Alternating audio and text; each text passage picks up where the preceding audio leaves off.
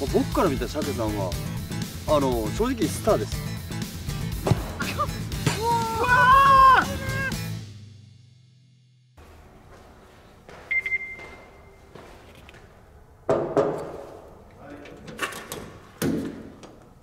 お疲れ様です。あはい。お疲れ様です。お疲れ様です。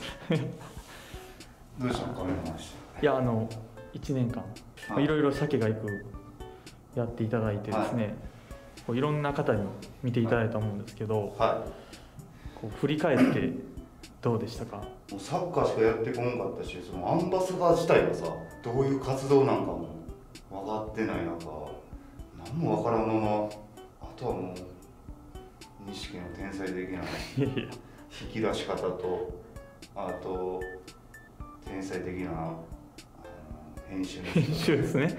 はい。まあなんとかやってこれたかな。いや楽しかったですよ。ああはい、なんかまあもう刺激もたくさんもらいましたしセレッソの、えーまあ、魅力だったり、まあ、多く知ってもらうっていう意味ではやっぱ YouTube っていうのは、えーまあ、強力な武器なのかなっていうのは改めて感じましたけどね。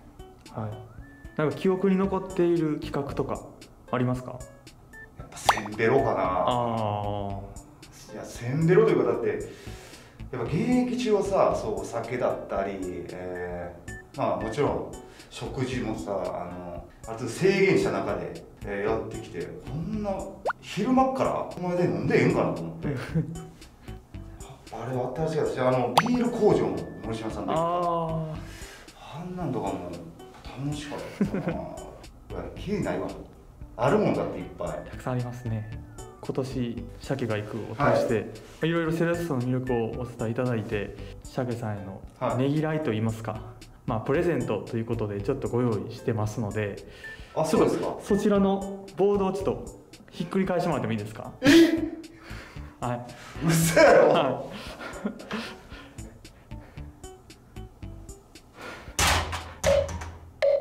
い、はい、いやいやこれ一番あのおもろいって言われてる動画だけど、そう。再生回数がクソ伸びへんかっていうあの噂の。えー。何よ？はい。あのこのチケットじゃあ受け取ってください。はい。無人島じゃん。はい。ここにあの鮭さんのご褒美企画書いてますんで。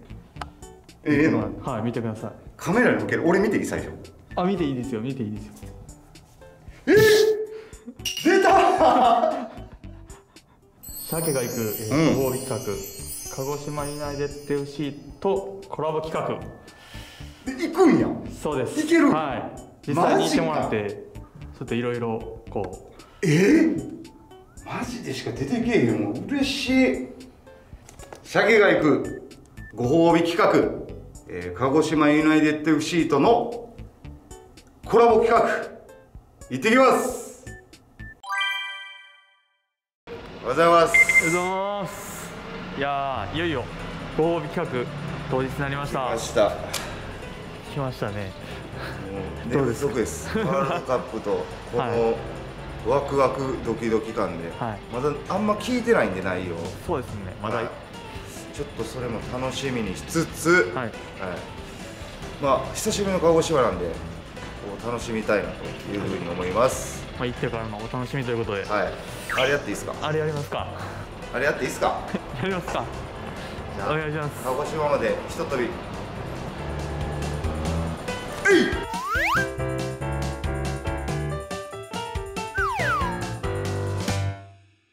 っしゃ 来ましたね。ーはいよ楽しみやでここからジャンプできる？またいやいやいやここからはあのゆっくりこう車。積み重ねて取っていくんで。はい。もちろんです。はい行きましょう行きましょ調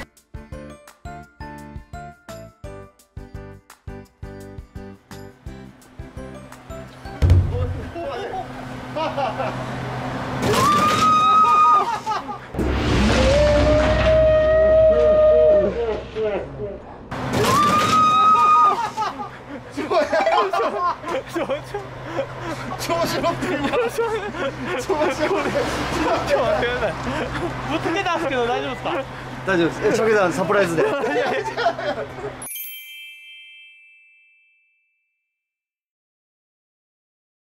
いませんおかえりなさいいやっていうかこんな車あったすごいかっこいいですねこれ一応今年からもう頼むよそうですはいえもう車用車みたいな感じでー、そうイベントにはもうこれで行って。確かに喜ぶ子供たちと写真撮って、喜ばれるよね。いやですですですです。いやもうこれを大切に今乗ってます。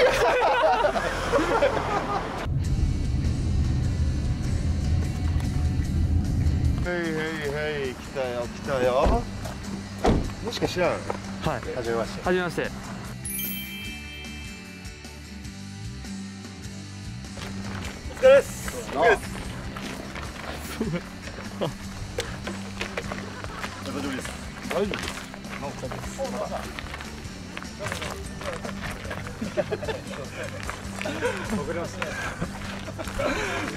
ケさんのおかげで。走ってくんのかと思った。あ去年練習会で参加させてもらいました。覚えてるよ。ら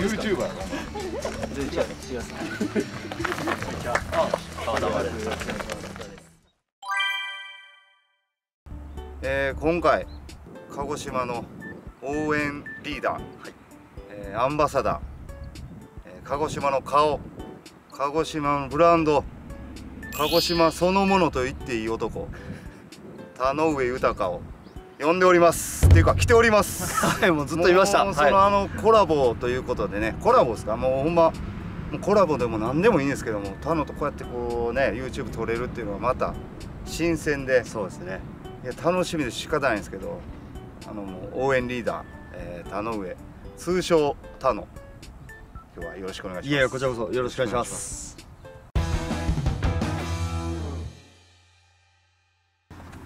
俺はもうまあアンバサダーになって、はい。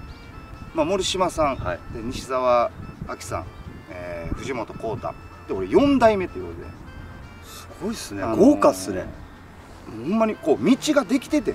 ああなるほど。仕事も。ほうほうほその切り開いていかんでいい分歴代、えー就任してた方たちのまあ言うたら後を踏んでいくっていう形。プラスちょっと難しかったなっていうのはやっぱりそこになんかこう自分らしさというか自分がやりたいことをこうどう混ぜ合わせていくかみたいなのがやっぱまあちょっとこうできた部分とあー全くできてへんなっていう部分があったからそういう部分では他のは、えー何年目？僕は2010 20年からややらせてもらってるんで3年目の年でしたね、はいはいでその前に鮭さんその道があるって言いましたけどもうすごい先輩方がやってたわけじゃないですか。すごいよ。逆にその人たちと比べられるっていうこともあるわけじゃないですか。僕は比べる人はいなかったんですけどだからそこのプレッシャーなんて逆になかったのかなっていうのは。それはあんまりなかったかな。あのーただもうサッカーしかしてこなかったからそれこそ名刺のなんかこの何？渡し方渡し方はいはいはい。受け取り方喋、り方。みたいな。もうやっぱこうちゃんとこう社長の方を見てとか え鮭さんでも意識するんでするよもちろん。もうそういうのは気使ったけあどー。なんかその前やってた人と比べられてんのかなっていうのはあんまりなかったかな。聞くところによると YouTube とかも全部自分で編集して。いやそうなんですだから僕企が画して。ですですですです。それこそ、あの鮭さんと1年間2019年プレーして、その年で引退して、2020年からあのアンバサダーという形で応援リーダーという形で就任してちょうどコロナがやってきたんですよ。でも自分の中ではあのチャンスって言ったら語弊があるかもしれないですけどやっぱサポーターと選手の距離が離れたじゃないですか、そこにあ俺入るあ俺の仕事だなっていう。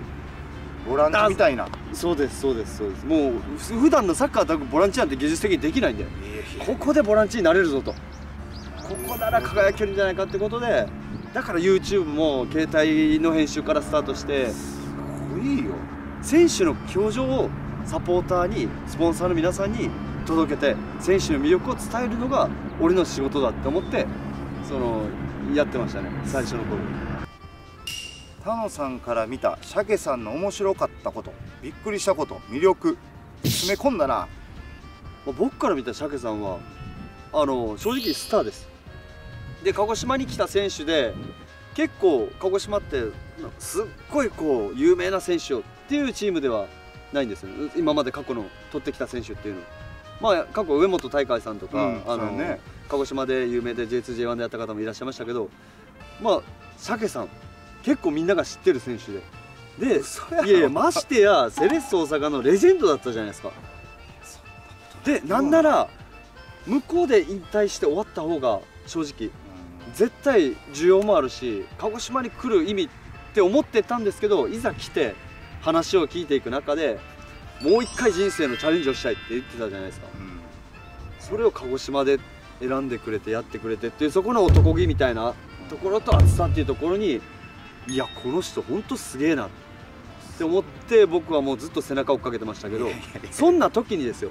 すいません。ちょっと話長く長くなりますけど僕が2019年 J2 に鹿児島が初めて上がった年にん試合に出れなくなったんですよでずーっと出れない中で鮭さんずっと出続けてもうなんか周りのことは見てないのかなっていう雰囲気だったけど練習ある日終わった時に鮭さんが僕のところに降ってきて「太郎お前サッカー楽しいか?」ってボソって言われて「あ確かに俺楽しんでないかもな」そしたら鮭さんが「もういいんだよその言われたことをやろうとかお前はお前らしくお前の形でサッカーを楽しめ。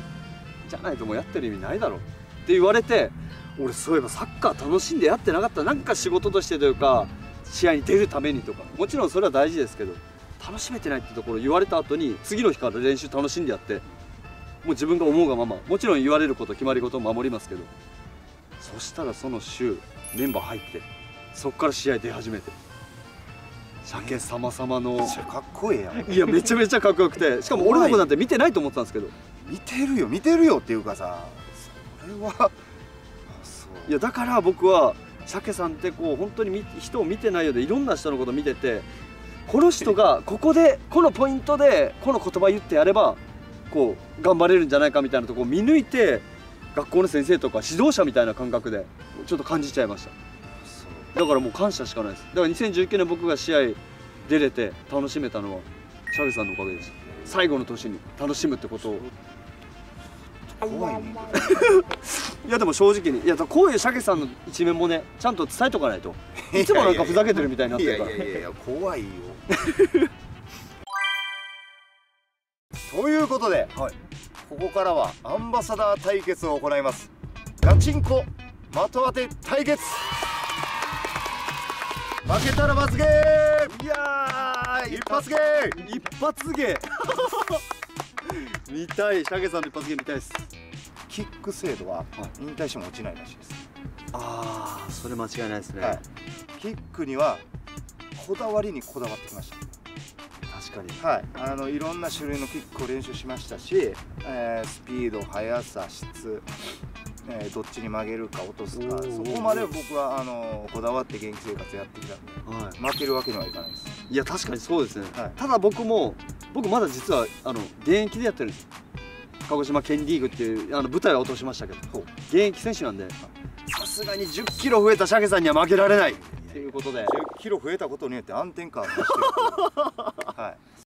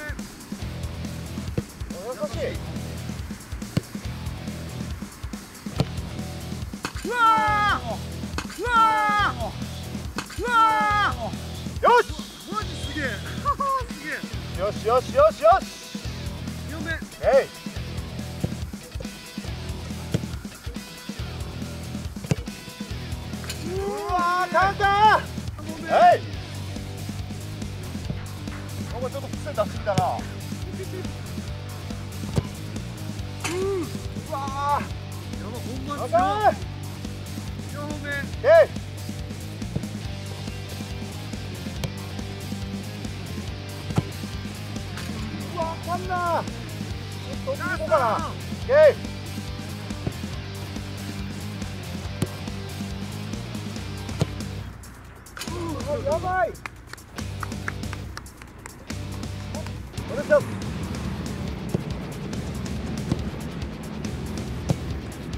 しはい。やば、つっと。ああ、やばい。やばい、やっイナール。アイナール、さすが。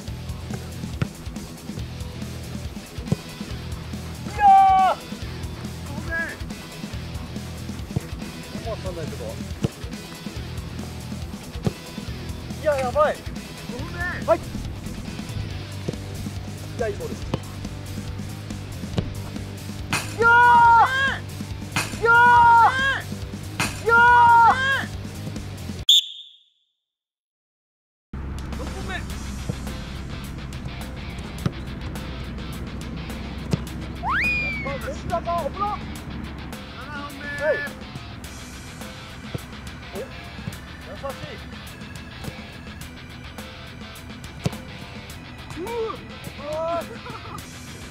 8本目えいうまっ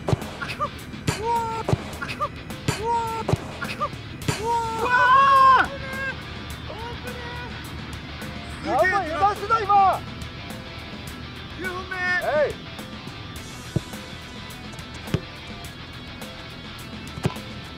いうわかでかい。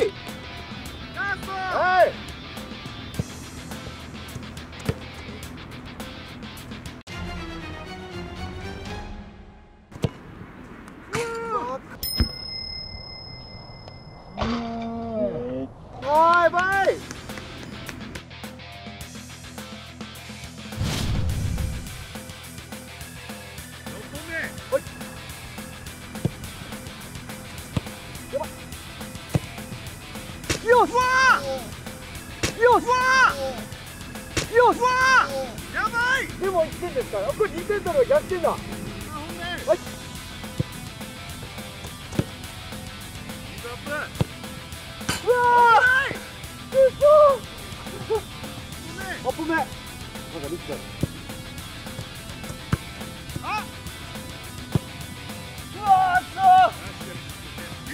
やばい愛のある愛のあるボールそれいやー大接取り込んだうわラスト。ラスト。2点取れば逆転だ。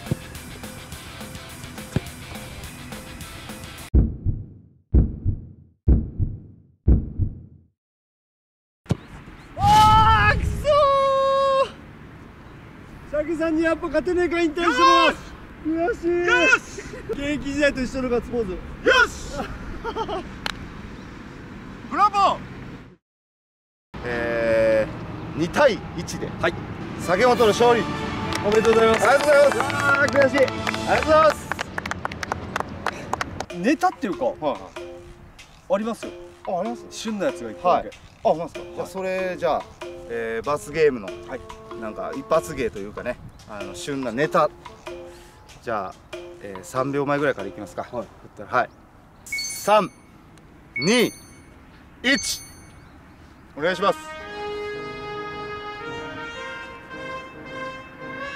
前田大然です はいということでいやめっちゃ言われてめっちゃ言われたんですよあのワールドカップで前田大然選手がゴール決めるじゃないですか決めたらなぜか僕におめでとうが届いてなんとフォロワーが100増えたってインスタのフォロワーほんまにせこいけどおもろい。あ本当ですか？若干寄せてひげもちょっと生やしてみあます そうやんな。はいいやいや思ってたよ。いやすみません拾っていただいていやいやよかったです。ありがとうあございます。あとはもう編集の力でお願いします 大丈夫です。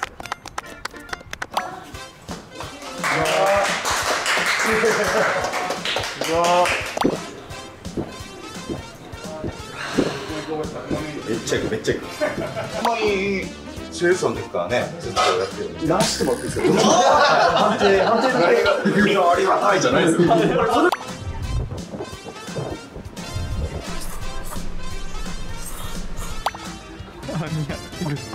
めっちゃ似合ってるじゃないですか。A sustainable future. Yanmar.